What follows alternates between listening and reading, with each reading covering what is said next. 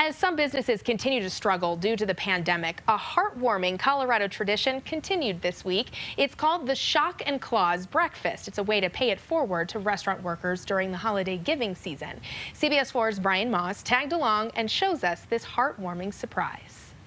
When Joanna Deanda showed up for work Thursday as a waitress at this Aurora IHOP restaurant, she ended up with a lot more than just orders for ham and eggs. What she didn't know is this group of eight diners had other secret plans.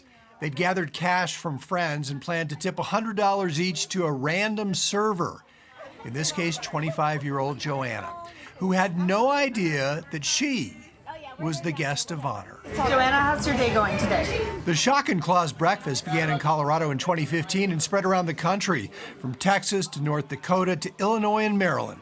Groups of friends gathering during the holidays and sharing cash and kindness, making a difference in the lives of others, even inspiring how to videos on YouTube. They're just absolutely wonderful.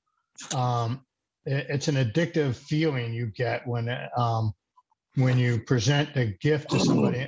Joanna seemed overwhelmed when she got a $1,200 tip. No, no, no. Yes, yes, yes. I was doing this for like seven or eight years, waitress, and never happened this to me before. So I'm, I'm so grateful. Thank you guys. Thank you. She showed me a picture of her parents in Mexico and said she would send some of the money to them and help them build a home. Uh, I'm going to buy some gifts for my family in Mexico and my husband. The Shock and Claus diners here spread the generosity, giving a dozen other servers, busboys, and dishwashers $100 each.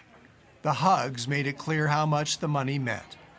A simple act of generosity, changing the lives of strangers. I'm Brian Moss, covering Colorado First.